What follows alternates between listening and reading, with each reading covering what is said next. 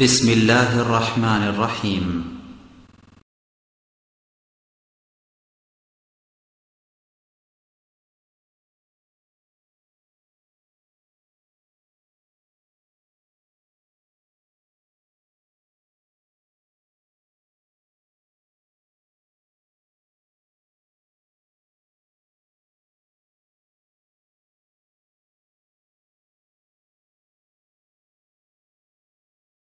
الحمد لله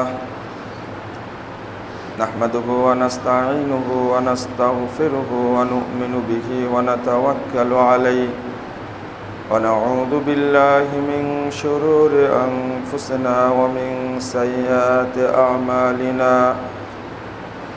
من يهده الله فلا مضل له ومن يضلل فلا هادي له وأشهد أن لا إله إلا الله وحده لا شريك له. وأشهد أن محمدا عبده ورسوله. أما بعد فإن خير الحديث كتاب الله وخير الهدي هدي محمد صلى الله عليه وسلم.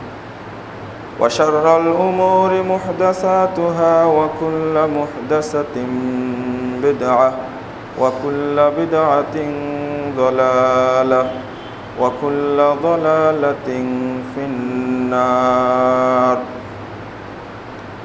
فقد قال الله تعالى في كلامه المجيد والفرقان الحميد. أعوذ بالله من الشيطان الرجيم. ومن يكفر بالإيمان فقد حبط عمله وهو في الآخرة من الخاسرين. عن أبي هريرة رضي الله عنه قال قال رسول الله صلى الله عليه وسلم إن الله لا ينظر إلى صوركم وأموالكم ولكن ينظر إلى قلوبكم وأعمالكم. رواه مسلم. وعن أبي بكرة رضي الله تعالى عنه قال قال رسول الله صلى الله عليه وسلم لو أن أهل الأرض أهل السماء وأهل الأرض استمعوا على قتل مسلم লাকাব্বাহুমুল্লাহ তাআলা আলা বুজুহিহিম ফিন্নার। রহতবরানি ফিল আউসাত ইসনাদিন শাহিহিন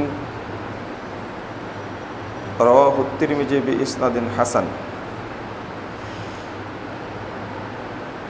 যাবতীয় হামদোসান্না মহান রব্বুল আলমিনের জন্য এবং যাবতীয় দরুদ তাসলিম বর্ষিত হোক শেষ নবী আহমদ মুস্তফা মোহাম্মদ মুস্তফা সাল্লাহ আলী প্রতি।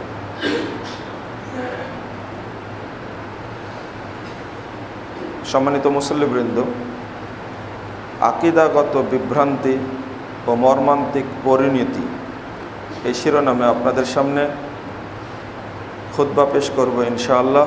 ওমা তৌফিকি ইল্লা বিল্লাহ আলিহি তওয়াক্কাল তুয়াইহি অনিম মুসলিম উম্মার বর্তমান ক্রান্তিকালের মৌলিক কারণ হল আকিদাগত বিভ্রান্তি। আকিদার পদস্খলনের কারণেই মুসলিম উম্মার বিভক্তি, ঐক্য বিনষ্ট হওয়া এবং ইসলামের উপরে কালিমা লেপন ইত্যাদি ইস্যুগুলো এসেছে। আকিদা সম্পর্কে পরিষ্কার জানা থাকলে এই পতনটা ঘটত না। আর যখনই আকিদায় শিরিক প্রবেশ করবে, তখন আল্লাহর পক্ষ থেকে প্রদত্ত নিরাপত্তা তিনি উঠিয়ে নেবেন। যে জাতি শিরিক করে, আল্লাহ তাদেরকে নিরাপত্তা দেন না। শিরিক বর্জন করলে আল্লাহর পক্ষ থেকে নিরাপত্তা দান করবেন। সুরায় আনাম বিরাশি নম্বর আয়াতটা খুলুন। আল্লাহ বলছেন আল্লাদিনা আমানু ওয়ালাম ইয়ালবিসু ঈমানাহুম বিজুলমিন যারা ঈমান আনয়ন করে এবং ঈমানের সাথে শিরিকের মিশ্রণ ঘটায় না, উলাইকা লাহুমুল আমন, তাদের জন্য নিরাপত্তা রয়েছে। অহুম মুহুতাদুন, আর তারাই হলো হেদায়েত প্রাপ্ত। এটা আল্লাহ নিজেই বলছেন। তো যে জাতি সিঁড়িকে জড়াবে না, আল্লাহ রব্বুল আলমিন ওই জাতিকে নিরাপত্তা দেওয়ার দায়িত্ব তিনি নিজেই নিয়েছেন।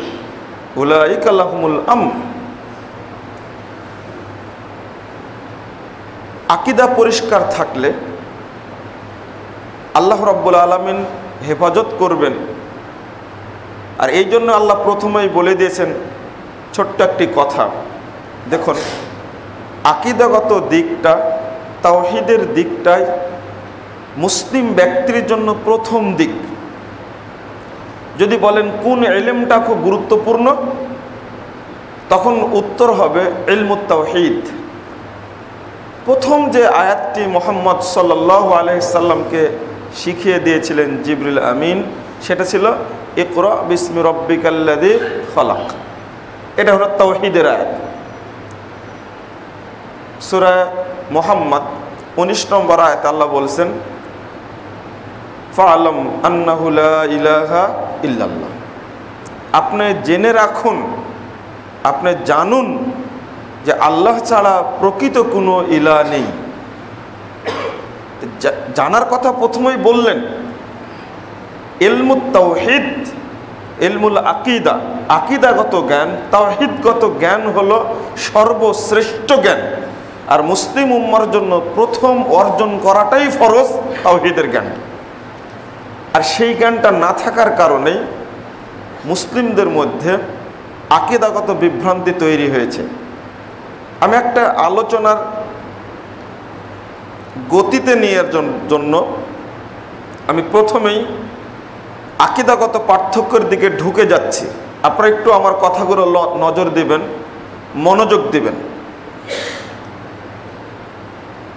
রসুল্লাহ সাল আলী আসাল্লাম ভবিষ্যৎবাণী করলেন যে আমার মৃত্যুর পর পরই এই মুসলিম উম্মা অসংখ্য ভাগে বিভক্ত হয়ে যাবে। তবে সিরাতে মুস্তাকিম কয়টা? একটা। চার হাজার একশো বিয়াল্লিশ নম্বর হাদিস মুস্তাদে আহমদ। এটা বাস্তব একদিন বুঝিয়ে দিচ্ছেন একটা দাঁত টানার পরে। বলছেন, হাজা সাবিলুল্লাহ। দেখো, এটা আল্লাহর রাস্তা। ইয়ামিনিহি ও আন শিমালি। ডানে অনেকগুলো দাগ দিলেন, বামে অনেকগুলো দাগ দিলেন। রেখা টানার পরে বলছেন ওয়াহাদিহি সুবুলুন আলা কুল্লি সাবিল মিনহু শৈতান ইয়াদুলাই দেখো, এইগুলোও রাস্তা। তো প্রত্যেকটি রাস্তায় শয়তান রয়েছে, সে তার দিকে ডাকছে। এরপরে দলিল পেশ করছেন রসুল মোহাম্মদ সাল্লাহ সাল্লাম সুরা আনাম একশো তিপ্পান্ন নম্বর আয়াতটি পাঠ করছেন, সোজা রাস্তা, সোজা দাগটার উপরে হাত রেখে। বলছেন ও আন্নাহাদা সিরতি মুস্তাকিমা ফাত্তাবে ঔহু ওয়ালা তাত্তাবে ও সবুল ফাত্তাফাররাকা বিকুম আং সাবিলি। দেখো, এই, নিশ্চয় এই সোজা রাস্তাটি আমার রাস্তা। ফাত্তাবে ঔহু তোমরা এই রাস্তারই অনুসরণ করবে। ওলা তাত্তাবে ওসবুল অন্য অন্য রাস্তাগুলোর অনুসরণ করো না যদি করো ফাতাফার রকাবেকুম আংসাবিলি এই যে সোজা রাস্তা, এই রাস্তা থেকে তোমরা বিচ্যুত হয়ে যাবে পথভুষ্ট হয়ে যাবে। তাত্তাকুন। এই সঠিক পথে চলার জন্য স্বয়ং আল্লাহ তোমাদেরকে ওসিয়ত করছেন। কোন রাস্তায় চলবে সে ব্যাপারে যেন সতর্কতা অবলম্বন করো। এত সুন্দর বুঝ, এত সুন্দরভাবে বুঝানো আর কারও পক্ষে সম্ভব নয়। রসুল সাল্লাহ সাল্লাম বুঝিয়ে দিলেন। এরপরে আবুদাউদের দ্বিতীয় খণ্ডের ছয়শো একত্রিশ পৃষ্ঠায় একটি হাদিস বর্ণিত হয়েছে। রাসুল সাল্লাহ সাল্লাম বলছেন, তির, তিরমিজিতেও আসছে হাদিসটা দ্বিতীয় খণ্ডের চুরানব্বই, পঁচানব্বই পৃষ্ঠায় যে আমার উম্মত ইহুদি খ্রিস্টানরা বিভক্ত হয়েছিল বাহাত্তর দলে, আমার উম্মত বিভক্ত হবে তিয়াত্তর দলে। কুল্লুহুম ফিন্নার ইল্লামিল্লা হেদা সবগুলোই জাহান নামে যাবে, একটি ব্যতীত। এটাই স্পষ্ট করলেন, সাহাবিরা ভাবলেন, তাহলে জান্নাতি দল কোনটি? রাসুল সাল্লাম উত্তর দিলেন, মা আনা আলাইহি ও আসহাবি। আমি এবং আমার সাহাবিরা যে মানহাজ, যে মূলনীতির উপরে আজকে আছে, যুগের পর যুগ, কিয়ামত পর্যন্ত যারা এই পথের উপরে থাকবে, তারাই জান্নাতি।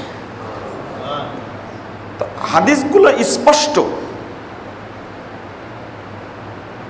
এবার নির্দিষ্টভাবে রসুল সাল আলাইসাল্লাম কিছু দলের কথা বলে গেছেন। যেমন, প্রথমত খারেজি। প্রথম বের হয় ইসলামের ইতিহাসে। দেখা যায় রাসুল্লাহ সাল্লাহ আলাইসাল্লামের যুগেই বের হয় খারেজরা। সেরফ আকিদাগত বিভ্রান্তির কারণে, আকিদাগত বিভক্তির কারণে। তারপরে দ্বিতীয় বের হয় শিয়া। তৃতীয় বের হয় মুরজে এবং কাদারিয়া। যেহেতু স্পষ্ট হাদিস দ্বারা প্রমাণিত, সেক্ষেত্রে আমাদের হাদিস বর্ণনা করতে কোনো দ্বিধা নেই। একশো নব্বই নম্বর হাদিস ইবনু মাজা রসুল সাল্লাহ সাল্লাম বলছেন আল খারিজ কিলাবুম মিনান্নার যারা খারেজি, তারা জাহান নামের কুকুর হবে। এটা স্পষ্ট। শিয়াদের সম্পর্কে রাসুল সাল আলাইসাল্লাম বলে গেছেন, ছয় হাজার দুইশো আটষট্টি নম্বর হাদিস সহি বুখারি। স্পষ্ট ভাষায় বলে গেছেন, পূর্ব দিক থেকে এদের আবির্ভাব ঘটবে যারা আমার পরিবার নিয়ে বিভ্রান্তি সৃষ্টি করবে। আর শিয়ারা, মা আয়েশা রাজাল্লাহ আনহা সহ সাহাবিদের নিয়ে বেশি বিভ্রান্তি সৃষ্টি করেছে। এরপরে চার হাজার দুইশো চার হাজার একশো চৌত্রিশ নম্বর হাদিস তাবরানি আউসাত রসুল সাল আলহিসাল্লাম দুইটি দল সম্পর্কে বললেন আলাইয়াল হাউদা ওয়ালায়াদ জান্না আল ওয়াল কাদারিয়া। দুইটা দল তারা আমার কাছে, হাউস কাউসারের কাছে আসতে পারবে না এবং তারা জান্নাতে প্রবেশ করতে পারবে না। মানে আমি তাদেরকে পানি পান করাবো না, তারা জান্নাতেও যেতে পারবে না। সেটা কি কি বললেন? কাদারিয়া এবং মুজিয়া তাহলে চারটি দল সম্পর্কে মোহাম্মদ রসুল্লাহ সাল্লাম স্পষ্ট বলে গেছেন। কেন বিভক্তিটা? এর মূল কারণ হলো আকিদাগত বিভক্তি। যেমন,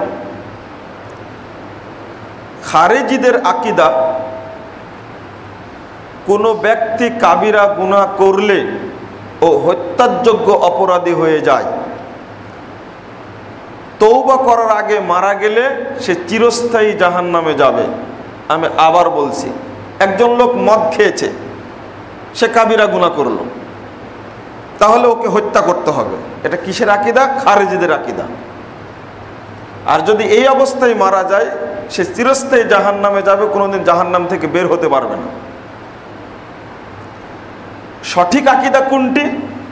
আহলে হাদিসদের আকিদা, আহলে সুন্না হল জামাতের আকিদা হলো, কোরআন এবং সুন্না ভিত্তিক আকিদা হলো যে কাবিরা গুণা করলে ইসলাম থেকে বের হয়ে যায় না। ওই ব্যক্তি হত্যাযোগ্য অপরাধী হয় না। বরং ইমান শূন্য হলে ওই ব্যক্তি মুসলিম থাকে। এই অবস্থায় মারা গেলে ওই পাপের কারণে জাহান নামে যাবে। কিন্তু তার যে আগের ইমান ওই ইমান পাপের পাশ্চিত্য ভোগ করার কারণে ইমান আনার স্বার্থে ও জাহান নাম থেকে মুক্তি পাবে। তো দুইটা কি একরকম হলো না আলাদা হলো? সম্পূর্ণ আলাদা হলো। কাবিরা গুণা মানুষ করতে পারে। কিন্তু কাবিরা গুণা করলেই হত্যাযোগ্য অপরাধী। এটা হলো প্রাচীন আকিদা। দেখুন, আশ্চর্যজনক ব্যাপার হলো এই যে বুশটা আলেমরাও, বর্তমান প্রচলিত আলেমরা বুঝতে চাচ্ছেন না। রসুল্লাহ সাল আলী আসাল্লাম গনিমতের মাল বন্টন করছেন। ইয়ামান থেকে পাঠানো আলী রাজাল্লাহ পাঠিয়েছেন, মাল বন্টন করছেন। পাঁচ হাজার আঠান্ন নম্বর হাদিসটা খুলুন সহি বুখারি। আর একটা হাদিস সহি মুসলিমের মধ্যে আসছে। এক হাজার চৌষট্টি নম্বর হাদিসটা খুলুন। তো বনি তামিম গোত্রের একজন ব্যক্তি জুল খোয়াইসেরা নিঃসন্দেহে একজন সাহাবি, এসে বলছেন ইয়া রাসুল আল্লাহ আল্লাহ রাসুল, আপনি ইনসাফ করেন। আল্লাহ রাসুলকে মানে নসিহত করছে। উপদেশ দিচ্ছে আল্লাহ রাসুল ওসিয়ত করেন। তখন আল্লাহ রাসুল বলেছেন ফমাইয়া আদিল ইনলামিয়া আদিল ওই হাক বেয়াদব, আমি যদি ইনসাফ না করি ইনসাফ আর কে করবে? মানে আল্লাহ রাসুলের বন্টন ইনসাফ হচ্ছে না। এই জন্য ওই ব্যক্তি এসে বলছে, নিঃসন্দেহে যখন রাসুল বলে সম্বোধন করেছে সাহাবি একজন, নিঃসন্দেহে সাহাবি, রাসুলের বন্টনে সন্দেহ করেছে, আর ইমান থাকবে? ইমান থাকার প্রশ্নই আসে না। সহি বুখারিতে আসছে যে এ দিল ইয়া মোহাম্মদ মোহাম্মদ, তুমি ইনসাফ করো। এখানে ইয়া রাসুল আল্লাহ বলেনি। ইয়া মোহাম্মদ মোহাম্মদ তুমি ইনসাফ করো। তখন আল্লাহ রাসুল বলছে, ওয়াইল্লাম ইয়াদিল ফমাইয়াদিল আমি যদি ইনসাফ ভিত্তিক বন্টন না করি, তাহলে পৃথিবীতে আর কে ইনসাফ করবে? রাসুলের যুগে ওহি নাজিল হয়, জিবরুল আমিনকে দেখতে পায়। আল্লাহ রাসুলের চেয়ে ইনসাফপূর্ণ শ্রেষ্ঠ ব্যক্তি পৃথিবী থেকে আগমন হয়নি। এর পরেও রাসুলের সাথে সালাত পড়ে, সিয়াম পালন করে, আমুল করে, বরং অন্যান্য সাহাবিদের চেয়ে এই জুল খুয়াইসেরা বেশি পরহেজগার ছিল। বেশি পরহেজগার ছিল। হাদিস প্রমাণ করে, সেই লোকটি খারেজি হয়ে গেল। এখন যে কোনো দল, যে কোনো গোত্র, যে কোনো দেশ, যে কোনো কাফেলার একটি ছেলে বা দুইটি ছেলে যদি পথভুষ্ট হয়, একটি দলের সাথে জড়িত কেউ যদি অন্যায় করে, তাহলে আপনি সবাইকে সন্ত্রাসী আখ্যা দিতে পারেন না। জুল খুয়াইসের রাসুলের সাহাবি, সে খারেজি হয়ে গেল। আপনি কি বলতে পারেন যে রাসুলের সাহাবিরা সবাই খারেজি? নাউজুবিল্লাহ, এটা তো বলা যায় না। এটা কি বলতে পারবেন? যে রাসুল কি দাওয়াত দিল, ওকে বুঝাতে পারল না? এটাকে আপনি বলতে পারেন? তার রাসুলের দাওয়াতে ঘাটতি ছিল? রাসুল সাল্লাম বেঁচে থাকতে যদি একজন সাহাবি খারেজি হয়ে যায়, তাহলে দোষ কার? আল্লাহ রাসুলের? কেন? আপনারা আলোচনাটা বুঝার চেষ্টা করুন। আপনি কি বলতে পারেন যে আল্লাহ রাসুল বুঝাতে ব্যর্থ এই জন্য তিনি অপরাধী? কোরআন সুন্না না পড়ে যদি কথা বলে টকশতে বয়সে বেশি বাড়াবাড়ি করে, তাহলে তো ভুল হবেই এটা স্বাভাবিক। স্পষ্ট। এবার শুনুন। আহাদেসুল মুখতারা ছয় হাজার পাঁচশো তিন নম্বর হাদিস। রাসুল সাল্লাম এই জুল খোয়াইসরা সম্পর্কে বলে পাঠালেন। আবু বকারকে পাঠালেন, আবু বকার, যাও, যেখানে পাবে হত্যা করে আসবা। যে দেখছেন রুকু করছে। ফিরে চলে আসছে। ওমরকে পাঠাচ্ছে ওমর তুমি যাও। দেখছে সেজদা করছে। সাহাবিরা দরদি মানুষ। সেজদা করা মানুষকে মারতে পারে? ফিরে আসছে। এবার আলী রাজিয়াল্লাহকে পাঠালেন, আলী, তুমি যাও। আলী রাজিয়াল্লাহ ফিরে এসে বলছেন আল্লাহ রাসুল পেলাম না। মানে আলীকে বলেছেন, ও ফিরে আসতো না। যে অবস্থায় থাকটা কেন, মেরে আসতো। এবার আল্লাহ রসুল বলেছেন, লাউ কতল তাহু আহ! আলী, তুমি যদি মেরে আসতে পারতেন না মাখতুলি ফাতফি দিন ইল্লাহ তাহলে দিনের মধ্যে ইখতিলাফ করার কেউ থাকতো না। রাসুল সাল্লাহ সাল্লামের যুগের ঘটনা বলছি। তাহলে সে অপরাধ করল এই জন্য কি সাহাবিরা দোষী না মোহাম্মদ সাল্লাহ সাল্লাম দোষী? কেউ দোষী নয়, নিজেই দোষী। লক্ষ হাজার সাহাবি রাসুল সাল্লাহ সাল্লাম থেকে এলেম পেয়ে, দাওয়াত পেয়ে জান্নাতের টিকিট পেয়েছে, তার মধ্যে থেকে কোনো মারদুত বিতাড়িত ব্যক্তি, সে তার ভাগ্য খারাপ বলে হেদায়ত পায়নি। এটা তো বাস্তব। এই জিনিসটা তাকে বুঝতে হবে। আল্লাহ রসুল হত্যার ফতোয়া দিয়ে দিলেন। ওই সেদিন যদি হত্যা করা হতো তাকে, আবু বাকর আল্লাহ যদি হত্যা করতেন, দয়ালু মানুষ, অত সহজে হত্যা করবে? বলে দিলেন, তুমি যদি আজকে মেরে আসতে পারতে, তাহলে এই উম্মতের মধ্যে বিভক্তি সৃষ্টির কেউ থাকতো না। আসলে বিভক্তি সৃষ্টি হবে।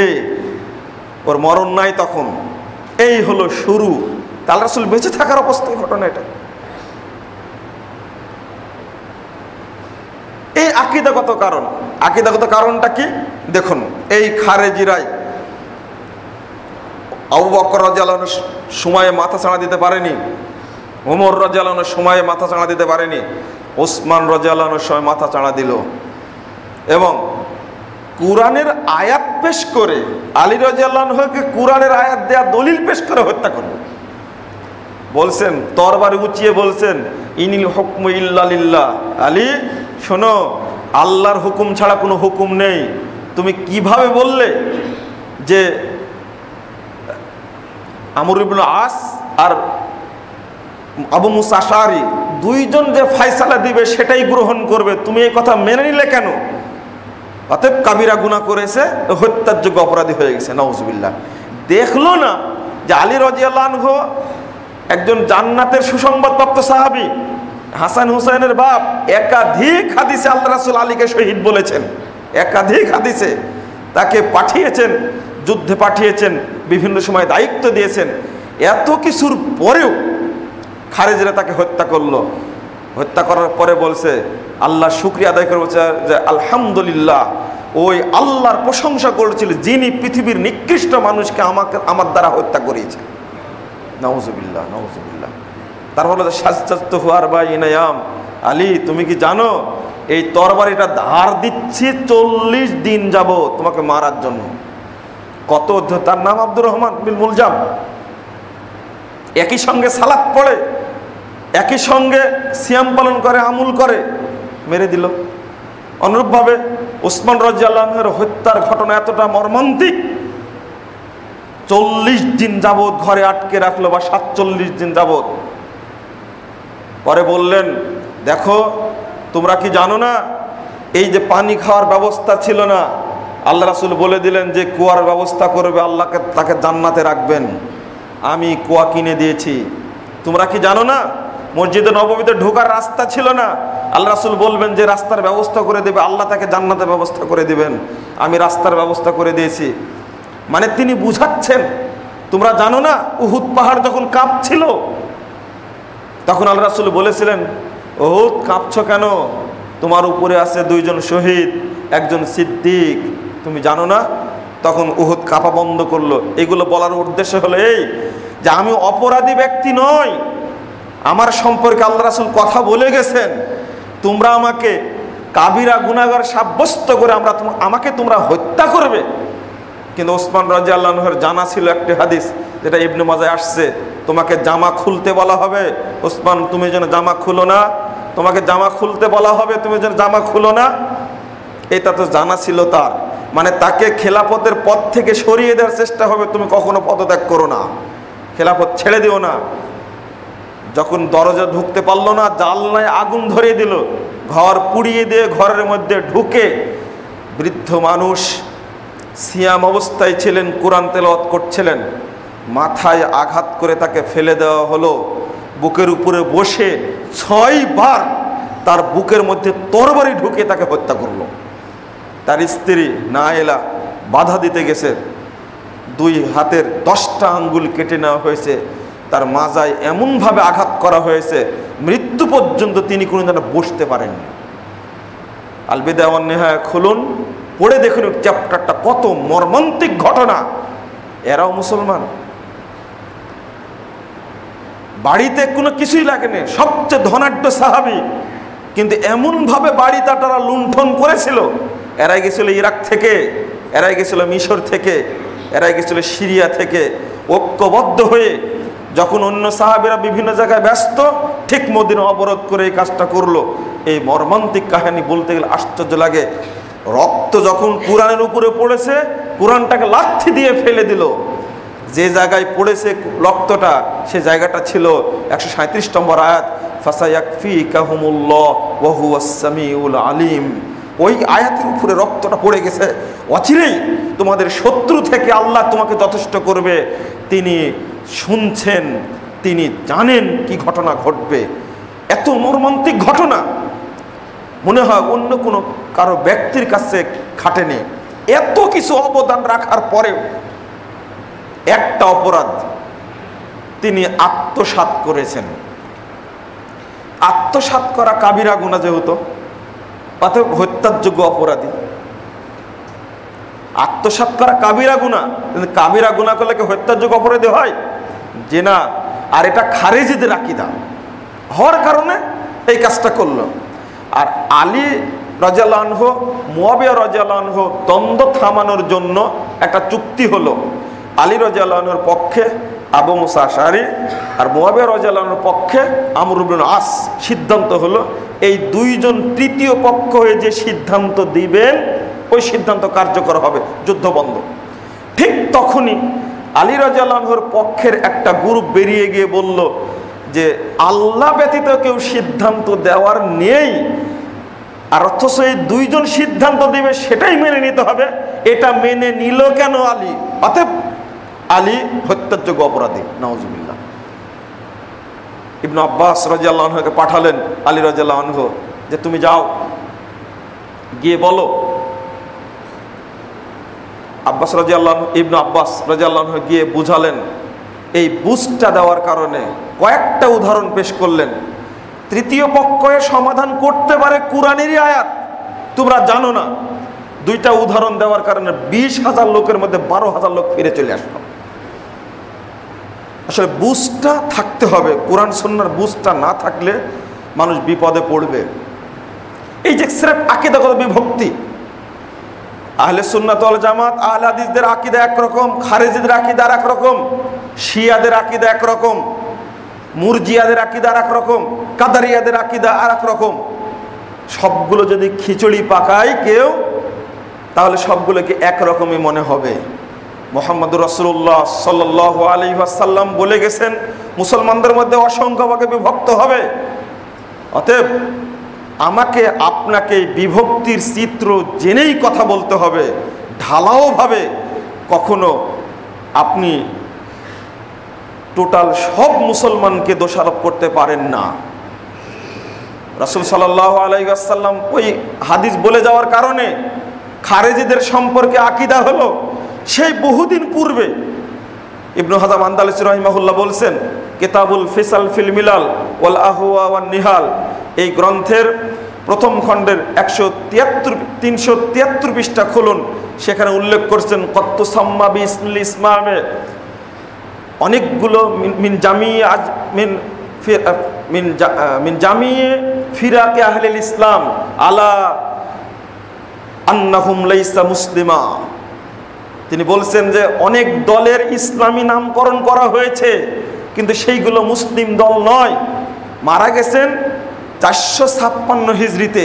সেই সময়ের মন্তব্য যে অনেক দলের নামকরণ করা হয়েছে ইসলামী, কিন্তু তারা মুসলিম নয়। মিসলু তমিনাল খাওয়ারেজ, যেমন খারেজিদের কোনো দল, উপদল তারা মুসলমান নয়। এটা তো আজকের কথা না। কোরআন এবং সুন্নার মানদণ্ডে যে আকিদা আসবে, ওই আকিদাকে আমাকে এবং আপনাকে মূল্যায়ন করতে হবে। এক্ষণে আকিদা পরিষ্কার না করে আপনি যত আমলই করেন না কেন, আল্লাহ রব্বুল আলমিনের দরবারে সে আমল কবুল হবে না। আল্লাহ বলেছেন ওমাইয়াকফুর ইমান ফাকাদ হাবিত আমালু। যে ব্যক্তি ইমানের সাথে কুফুরি করে এই ব্যক্তির আমুল সমূহ নষ্ট হয়ে যায়। ওয়াহুয়াফিল আখিরাতে মিনাল খাসিরিন। আর ওই ব্যক্তি পরকালে ক্ষতিগ্রস্তদের অন্তর্ভুক্ত হবে। আকিদাগত ইমানের এই পার্থক্য, ফেরকাগুলির পার্থক্য আমার জানা না থাকলে আমি বিভ্রান্ত হব। খারেজিরা বলছে, একজন লোকের মাথা ব্যথা হয়েছে, মাথা কেটে ফেলে দাও। আহলাদিসদের আকিদা হলো, তাকে ওষুধ খাওয়া মাথা ভালো করো। এই বিতর্ক আজকের নয়। সেই ইমাম বুখার রহিমাহুল্লাহ বলছেন, পাপ করার কারণে ইমান শূন্য হয়ে যেতে পারে, কিন্তু ওই ব্যক্তি মুসলমান থেকে বের হবে না। গাছের উদাহরণ দিয়ে বলছেন যে শীতকালে গাছের পাতা পড়ে যায়, কিছু কিছু গাছের পাতাই থাকে না। কিন্তু বসন্তকাল আসলে আবার পাতা গজায়, ফুল ফুটে সেই গাছেরই।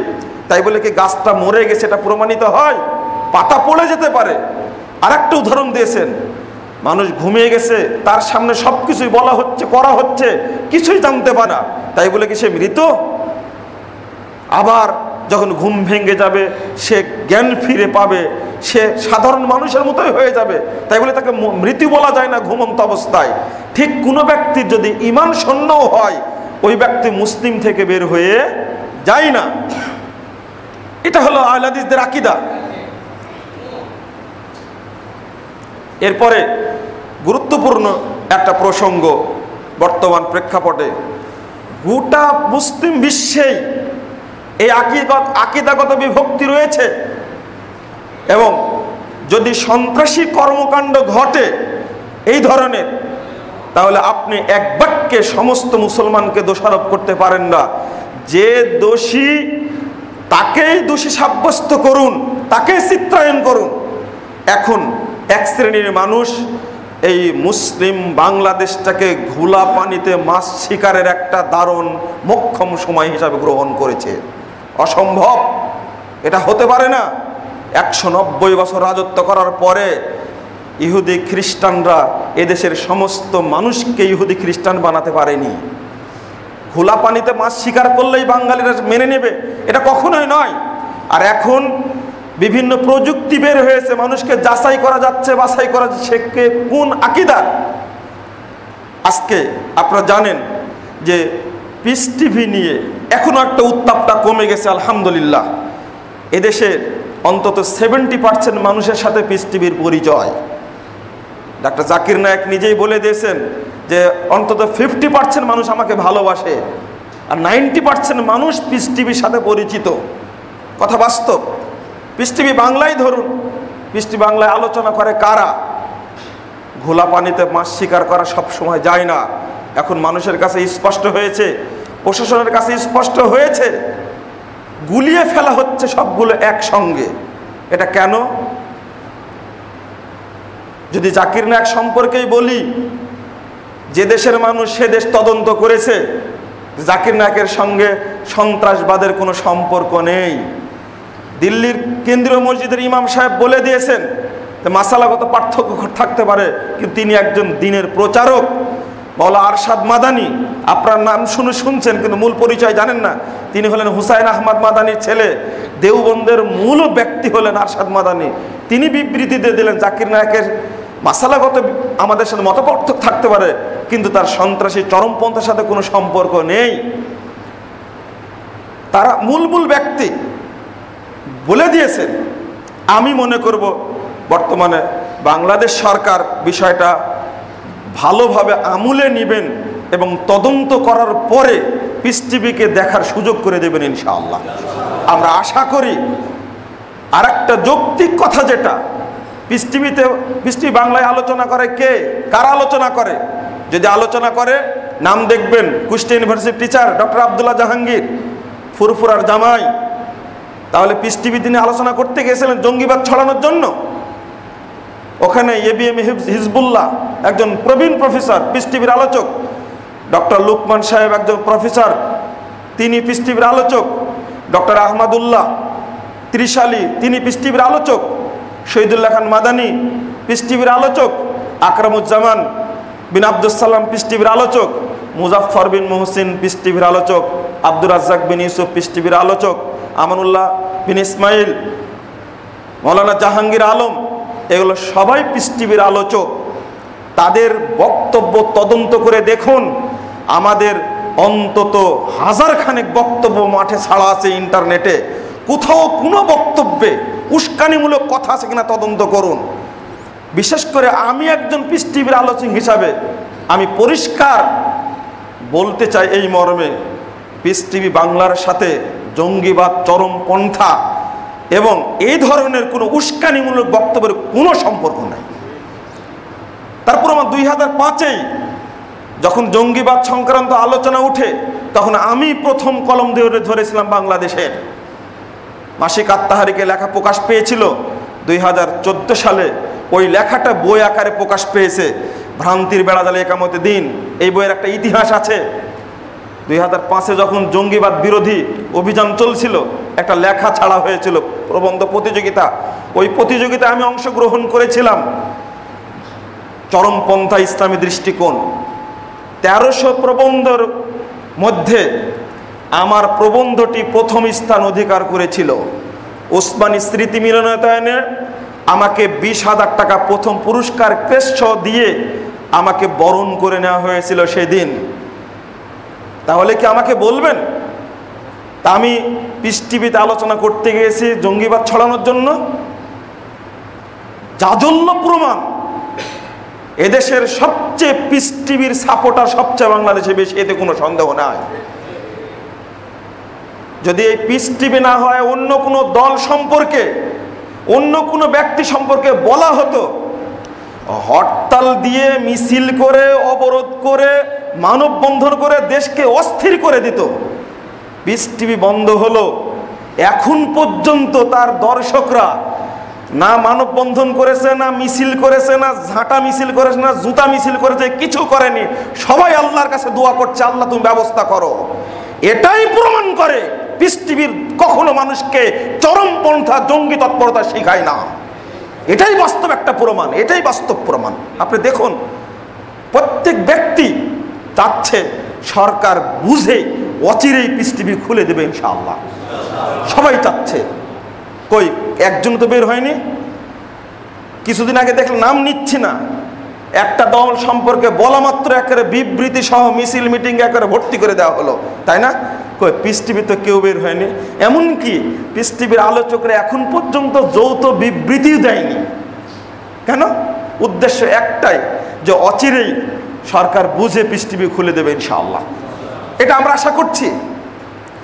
কারণ যাদের যারা ঘোলা পানিতে মাছ শিকার করার চেষ্টা করছে, এটা কতটুকু কষ্টকর? মাননীয় প্রধানমন্ত্রীর হস্তক্ষেপ কামনা করছি। যে সমস্ত ব্যক্তি ধর্মীয় উস্কানি দিয়ে দেশ একই দেশ এখন ক্রান্তিকাল অতিক্রম করছে, এতে কোনো সন্দেহ নেই। ঐক্যবদ্ধ হয়ে সমস্ত মানুষকে সচেতন থেকে এই মুসলিম ভূখণ্ডকে রক্ষার জন্য বারবার প্রধানমন্ত্রী বলছেন, আর তখন এক শ্রেণির মানুষ ধর্মীয় উস্কানি দিয়ে এই গোত্রীয় বিভক্তি এবং আগুন জ্বালানোর চেষ্টা করছে। বলছে আপনারা তো শুনেছেন আহলাদিদেরকে দোষ দেওয়া হচ্ছে যে এরা হলো ইহুদি খ্রিস্টানদের দালাল। মাথায় টুপি নিয়ে, মুখে দাঁড়িয়ে নিয়ে টিভির সামনে গেলেই এ সমস্ত বুদ্ধি ছড়ানো যায়। এদের নবী কাদিয়ানি, এরপরে হয়েছে মৌদুদি, এরপরে এদের নবী এখন হলো জাকির নায়ক। আচ্ছা এই কথাগুলোর কোনো কি আগামাথা আছে? এর কোনো সত্যতা আছে? আহলাদিসরা নবী হিসাবে কাদিয়ানেকে মানে? গুলাম আহমদ কাদিয়ানির বিরুদ্ধে আহলাদিসরাই সংগ্রাম করেছে। ইতিহাস খুলে দেখুন। সানে আল্লাহ অমৃত শের রহমাহুল্লাহ, শেরে পাঞ্জাব, তার নামই হলো ফাতেহে কাদিয়ান। কই যখন গুলাম আহমদ কাদিয়ানি চ্যালেঞ্জ ঘোষণা করল, কেউ তো তখন সামনে যায়নি।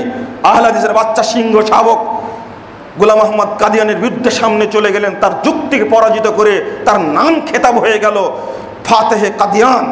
কাদিয়ান বিরোধী সংগ্রামের জয়ী ব্যক্তি সানুল্লাহ অমৃতেশ্বর রহিমাহুল্লাহ, তৎকালীন অল অল ইন্ডিয়া আহলাদিস কনফারেন্সের সেক্রেটারি। তখন বলেছে, এটা কোন কথা এটা? সেরফ ধর্মীয় বিদ্বেষ ছড়ানো না একটা? এখন তো মানুষ বুঝছে, প্রশাসন বুঝছে, দেখছে। আর একটা দাবি, আশ্চর্য হয়েছে আমি একটা চ্যানেলে আলোচনা করছে, আহলাদিসের মাদ্রাসাগুলো, মসজিদগুলোকে বন্ধ করে দিতে হবে। আপনি যে আকিদা পোষণ করেন, ওই আকিদার জন্ম কতদিন আগে? আর এই দেশে আহলে হাদিসের মসজিদ, মাদ্রাসা কতদিন থেকে আছে? আহলাদিসরা এখানে সম্পৃক্ত না? মুসলিম লীগের সেক্রেটারি ছিলেন মৌলানা আকরম খা। উভয় পাকিস্তানের সেই সময় শিক্ষা কমিশনের চেয়ারম্যান ছিলেন মৌলানা আকরম খা, মুসলিম সাংবাদিকতার জনক হল মৌলানা আকরম খা। বাংলা একাডেমির প্রথম সাহিত্যে পুরস্কৃত হন তিনি আহলাদির সন্তান মৌলানা আবদুল্লাহ কাফিয়াল কুরেশি রহমাহুল্লাহ। জাতীয় বিশ্ববিদ্যালয়ের প্রতিষ্ঠা, প্রতিষ্ঠাতা, খুলনা প্রযুক্তি বিশ্ববিদ্যালয়ের প্রতিষ্ঠাতা চিটাগং বিশ্ববিদ্যালয়ের প্রতিষ্ঠাতা, রাজশাহী বিশ্ববিদ্যালয়ের দুই, দুইবারের ভিসি জমিয়ত আহলে হাদিসের president doctor Abdul, professor doctor Abdul Bari রহমাহুল্লাহ। আপনি কীভাবে কথা বলেন? আহলাদিসের এগুলো ধর্মীয় উস্কানি দেওয়া নয়। এখন কারেন্ট সরকারের মধ্যে আহলাদিসরা নেই। যেখানে দাঁড়িয়ে কথা বলছি, সেখানে ঢাকা দক্ষিণের মেয়র জনাব মেয়র হানিফ সাহেবের ছেলে, একটা ভেটাল আহলাদিস নেতা। পুরো বংশালটা হলো আহলাদিস মসজিদে ভর্তি। আপনি কীভাবে উস্কানি দিচ্ছেন এভাবে? কখনো নয়, ঢাকা উত্তরের সভাপতি, বর্তমান এমপি রহমতুল্লাহ সাহেব, তিনি আহলাদিস মসজিদ মাদ্রাসা পরিচালনা করেন। কথা বললে তো একটা আগামাথা থাকতে হবে, একটা হিসাব নিকাশ থাকতে হবে। লাখো মসজিদ হাজার হাজার মাদ্রাসা বাংলাদেশে রয়েছে, সে হাজার বছর আগ থেকে আছে এখানে। আর আপনি একটা কথা বলে দিলেন, এটা উস্কানি দেওয়ার কি দরকার? ঐক্যবদ্ধভাবে বর্তমান প্রেক্ষাপট যে বাংলাদেশ অতিক্রম করছে, সন্ত্রাসী কার্যক্রম, এইগুলো রোধ করার জন্য মানুষের মধ্যে জনসচেতনা চেষ্টা করুন। দেখেন, মানুষকে একটা কথা বললে মানুষ ক্ষিপ্ত হয়ে যায়। গোটা দেশে আহলাদিসরা আজান দিয়ে, পাঁচ মিনিট আগে আজান দিয়ে সবার রোজা নষ্ট করছে। বলছেন একটা কথা? এটা এই অভিযোগটা, আপনি বললেন মানুষ মেনে নিল প্রশাসন জানে না। আমি চ্যালেঞ্জ করছি গোটা প্রশাসনকে আমি বলে দিচ্ছি, বাংলাদেশ সরকার প্রশাসনদেরকে, গোয়েন্দা বিভাগকে, তদন্ত করুন। আহলে হাদিসদের অন্তত কয়েকশো ক্যালেন্ডার রমাদান মাসে বের হয়। বাংলাদেশ আবহাওয়া বিভাগের যে সূর্যাস্তের টাইম দেওয়া আছে, তার এক মিনিট যদি বেশি করে, আপনি ওই সময়সূচির তৈরি করার কারণে তাকে গ্রেফতার করুন, আমার আপত্তি থাকবে না।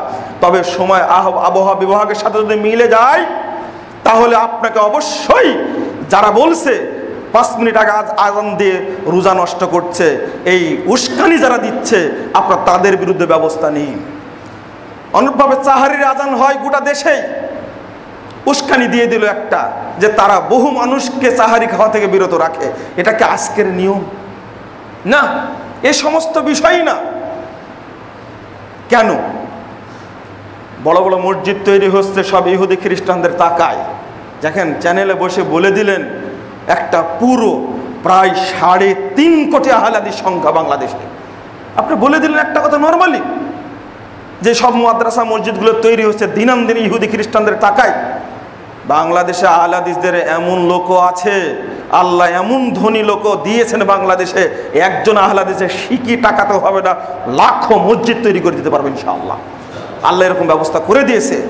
না, ক্রান্তিকাল চলছে এখন। আমরা এই ধর্মীয় ইস্যুতে আঘাত না হেনে আসুন, আমরা বর্তমান পরিস্থিতিকে ঐক্যবদ্ধভাবে মোকাবেলা করার চেষ্টা করি। আর আহলাদিসদের সবচেয়ে বড় কথা হলো এই, তারা এই প্রচলিত রাজনীতি নিয়ে কখনো টানা হেঁচড়া করেন, এটা জানা কথা আপনাদের। কোনো আহলাদি সংগঠনের মধ্যে নেই। দ্বিতীয়ত কোরআন এবং সুন্না ভিত্তিক আকিদা এবং সমাজ সংস্কারের প্রচেষ্টা করে থাকে যুগ যুগ ধরে এটা। শুধু আজকের এটা নয়, আপনি পাকিস্তানে দেখুন, ইন্ডিয়ায় দেখুন, বাংলাদেশে দেখুন, সব জায়গাতেই আমাদের সাথে যেটা কোরআন সুন্নার মধ্যে আছে সেটাই পেশ করে থাকি। অথচ আজকে একটা জিনিস লাগিয়ে দেওয়া হলো আর একটা জিনিস শেষে লাগিয়ে দেওয়া হলো। প্রেক্ষাপট যখন আসে, তখন কথা আমরা বলার চেষ্টা করি, জঙ্গি তৎপরতার সাথে মুসলিমের যেমন, মুসলমানদের যেমন কোনো সম্পর্ক নেই, ইসলামে জঙ্গিবাদ নেই। মোহাম্মদুর রসুল্লাহ সাল্লাহ আলাইসাল্লাম এমন একটা হাদিস বলে গেছেন, আশ্চর্য। মান হামালা আলাইনা সিলা সই মুসলিম আটানব্বই নম্বর হাদিসটা খুলুন। যে ব্যক্তি তরবারি উত্তোলন করল ফালাই সামিন্না সে ব্যক্তি আমার অন্তর্ভুক্ত নাই। মারার আগে তরবারি উঁচু করলে ও রাসুলের অন্তর্ভুক্ত নয়। এটা আল্লাহ বলে দিয়েছেন। মুসলিম ওই ব্যক্তি যে ব্যক্তির হাত থেকে এবং মুখ থেকে অপর মুসলিম নিরাপদ থাকে। এটা রাসুল বলে দিয়েছেন, এটা রাসুলের আদর্শ। পৃথিবীতে কোনো রেকর্ড নেই যে মোহাম্মদ সাল্লাহ সাল্লাম ভয় ভীতি দেখে ইসলাম প্রতিষ্ঠা করেছে। বরং তিনি ইসলাম প্রতিষ্ঠা করেছেন আদর্শ দিয়ে, চরিত্র দিয়ে। মানুষ অনু মানে অভিভূত হয়ে, তার চরিত্র অভিভূত হয়ে তারা ইসলামের দিকে এগিয়ে আসছে। অতএব অনুরূপভাবে আহলাদিসরা কেবলমাত্র পবিত্র কোরআন এবং সই হাদিসের আনুগত্য করে। আহলাদিসদেরকে কলঙ্কিত করার জন্য জঙ্গিবাদের বা চরমপন্থার লেবেল লাগিয়ে দেবেন, এটা একান্তই হাস্যকর অন্যায়। আর এইভাবে উস্কানি দিয়ে দেশকে বিপাকে ফেলা উচিত নয়। যখন উইলিয়াম ক্যাম্বেল তিরিশটা প্রশ্ন ছুড়ে দিয়েছিল বিরানব্বই সালে এই প্রশ্নটাকে চ্যালেঞ্জ গ্রহণ করতে পারেনি। জাকির নায়েক বর্তমান বিশ্বের মুসলমানদের জন্য একটা বড় রহমত বলে আমরা মনে করি। বিরানব্বই সাল থেকে এক সাল পর্যন্ত কেউ উইলিয়াম ক্যাম্বেলের চ্যালেঞ্জ গ্রহণ করতে পারেনি। জাকির নায়ক চ্যালেঞ্জ গ্রহণ করে তিরিশটা প্রশ্নের উত্তর দিয়ে দিলেন। বলেছিল, এই তিরিশটা জিনিস ভুল আছে কোরআনে। তখন দরকার হয়েছিল, এখন পরিষ্কার হয়ে যাচ্ছে আস্তে আস্তে সব কিছুই আপনারা যারা কোরআন এবং সই সুন্নার প্রচার প্রসার কামনা করেন, কোরআন এবং সই হাদিস মেনে চলেন, আমি তাদেরকে অনুরোধ করব, আপনারা আল্লাহর কাছে বেশি বেশি করে দোয়া করেন, আল্লাহ যেন আবারও আমাদের এই সই হাদিস ভিত্তিক প্রচারণা চালানোর ব্যবস্থা করেন। আল্লাহ তুমি কবুল করো।